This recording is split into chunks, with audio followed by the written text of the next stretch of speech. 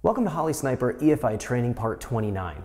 In this training module, we're going to explore setting up a launch control for naturally aspirated and supercharged engines, as well as working with launch control and the anti-lag to build boost off the line for a turbocharged engine. We're going to have a lot of things to cover here. Let's jump in and check out working with this feature. Okay, so let's get started. We're going to be taking a look at working with programming a two-step rev limiter function within our Holley Sniper EFI system. We're also going to be taking a look at how we can integrate a anti-lag effect with our launch control so that on a turbocharged engine we can build more boost off the line to get a better launch and a better 60 foot.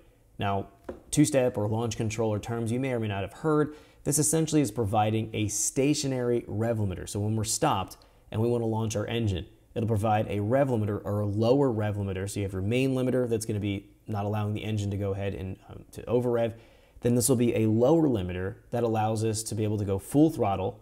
It'll hold the engine there at the RPM that we're programming here in the software. And then as soon as we release the enable button for the launch limiter, we'll launch the car at full throttle and we'll find we can get more consistency and repeatability with a launch limiter rather than staging your car, let's say at the drag strip and pedaling it, let's say half pedal to hold it at a certain RPM range and then stomping the pedal down to be able to launch we can simply go full throttle, hold the button, let go of the button when we launch, and the car is going to do exactly the same thing each time. So it gives you consistency and repeatability. You'll definitely get more consistent 60 foots for sure. And experimenting with your launch RPM, you can also find that you can probably improve your 60 foot with your vehicle. Let's jump in here and take a look at how we can program this. This is extremely simple to configure and to program, but when we're enabling the anti-lag effect, to build boost on a turbocharged application, so we want to build more boost off the line, it does get a little bit more complicated, so we'll look at how we can integrate that here in just a few minutes. So first thing we're going to do here, jump in the calibration file you have open within your Sniper software.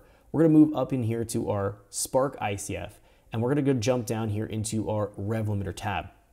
Now, we have two limiters that we can program. We have our main rev limiter. I have it currently set to 7,000 for my engine.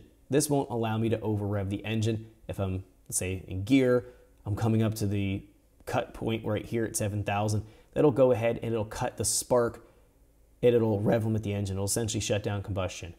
Now, we also have our rev limit 1. Rev limit 1 is what I want to introduce here for bringing in the two-step functionality. So for our launch control RPM. Very, very simple to set this up. We just go here to enable. The type here is only going to be Spark, so we don't have any other options.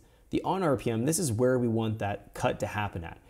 We typically want to have this, let's say your peak torque is at something like 4,000 RPM. You usually want to have this right around your peak torque. So I would program this, let's just say at 4,000. Now, where you set your on RPM for your cut for the launch limiter really depends on the track conditions and your tire, your tire pressures, how hot the tires are getting. A lot of variables here that can influence what we can actually program in the value here. So you can experiment with this moving up in a couple hundred RPM increments at a time. So let's say you have it at 4,000, you cut a 1.560 foot.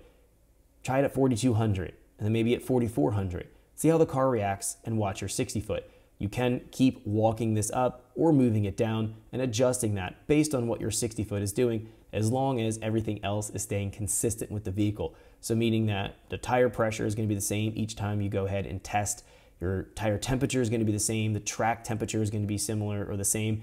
You want some consistencies to be able to evaluate what your launch RPM is doing in terms of how it's affecting your 60 foot. Now, the next part is going to be where we've wired this into. So the input is either unassigned or input number two. We have no other options here.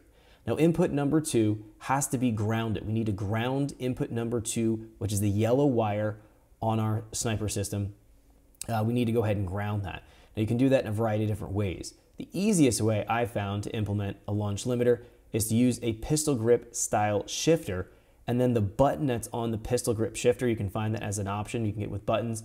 When you press the button, the wiring that would go into that button, one leg of the wire go to chassis ground, the other leg of the wire you'll, you'll run right to the yellow wire for uh, your Holley, and that'll go account for your input number two. So when we've grounded input number two, that'll apply the limiter that we want right here. So you'll be able to hold the button down, launch the car, let it go as soon as you launch, and then it'll turn off and we have no limiter. Now if you're going down the drag strip and you accidentally hit the button, that'll go and engage it again and it'll actually slow the car down. So you have to be careful of how you're actually activating. Thanks for checking out our teaser clip. If you want to see the rest of this video and more than 500 hours of current EFI training we have to offer, make sure you click right here. If you want to go and check out more teaser clips from this training course, click here. And you don't want to miss any of the videos we're going to be releasing on this channel, so make sure you subscribe and click here. Thanks for watching, and I'll see you guys later.